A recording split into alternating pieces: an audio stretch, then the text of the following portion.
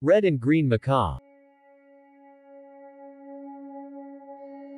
Ara Chloroptera. Class. Aves. Order. Psittaciformes. Family.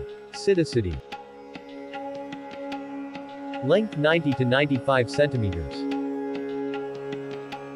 Wingspan 125 centimeters.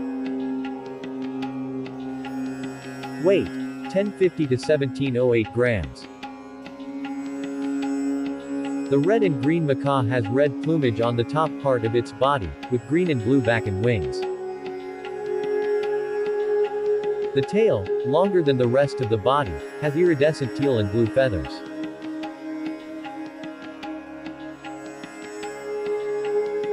The featherless face is white with darker striations, yellow irises and a two-colored beak. The large curved top mandible is white and the bottom one is black.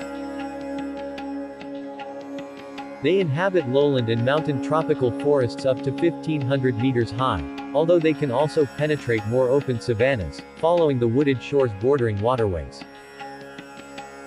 They can also be seen close to the coast in some areas.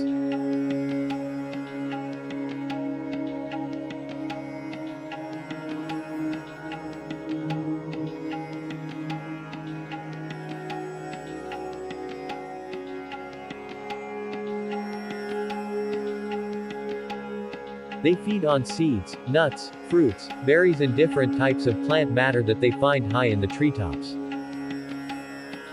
They make nests in holes in trees and occasionally on platforms dug into the steep banks of rivers, in which they lay two or three eggs. They tend to live in pairs or small family groups, although in some sites like the clay deposits on the vertical walls of rivers, they can come together in large groups, often mixed with specimens of other parrot species. Like all macaws, their populations are endangered today, due to the destruction of their forest habitat and excessive capturing for the pet trade.